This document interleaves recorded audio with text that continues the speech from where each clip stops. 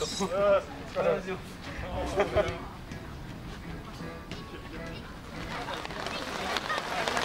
はインクルーシブな未来への初めの一歩。みんなで遊ぼうにお集まりいただいてありがとうございます。みんなの祈りでさっきまで天気が持ちこたえてたんですけれども台風の力ってすごいねでも天気にも負けずみんなで楽しい時間を過ごしたいと思っております。今日はそんなみんなを応援してくれるために2人のスペシャルゲストが来てくれました。誰かな？もうみんななんとなく分かってたりするかな？うん。じゃあまずスペシャルゲストの1人目です。福岡市の市長さん高島市長が来てくださいました、はい、みんな拍手。高島市長からお話をもらいたいと思います。みんなそのままで構わないからお話を聞いてください。高島市長お願いいたします、はい、皆さんおはようございます。今日はよく来てくれてありがとうえー、っと今日はみんなで公園で遊ぼうということでね来てもらったんだよね。で、えー、っとみんなの前にあるこの公園の遊び遊ぶ遊具を見てください。いつもある公園の遊ぶ遊具とちょっと違いますよね。どの辺が違うでしょうかあスロープっていう言葉が出てきた。すごいね。そう。例えば滑り台の横から落ちないような、まあ、手すりじゃないけどね。壁がこうついてたりとか。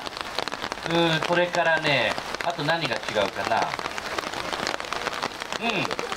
手すりがあったりとか。あとね向こうブランコも見たかな。ブランコもいつものブランコと違って背もたれがついてるんだよね。後ろから落ちないようにね。はい。こういう工夫を何でしてるかっていうとこれはあのねちょっと難しい言葉を言うからねあのインクルーシブっていう言葉でこれは簡単に言うとみんな仲間外れにせずにみんなで遊べるっていうことなんだよね。だからこの公園はみんなが楽しく遊べるような工夫がいっぱいある公園です。で福岡市はこれからこういう公園が近いところにいっぱいあったらいいよね。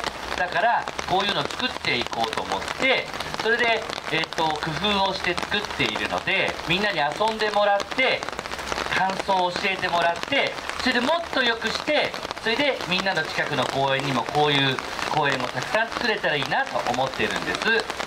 なのでみんなに楽しく遊んでって言いたかったんだけどあらら雨やね。でもね公園のこの木とかお花は喜んでます。暑いけんねお水をいっぱい飲んでまた明日以降きれいに咲いてくれると思います。で今日はあのー、何かをしましょう。テントで。とりあえずせっかく集まったし。であのその何をするかはこの後。また発表があると思いますけどせっかく来たんだし皆さんと楽しい一日を過ごしたいと思います。今日はよろしくお願いします。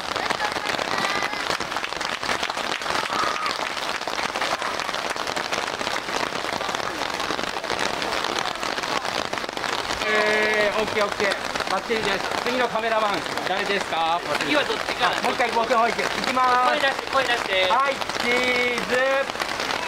OK です。じゃあ次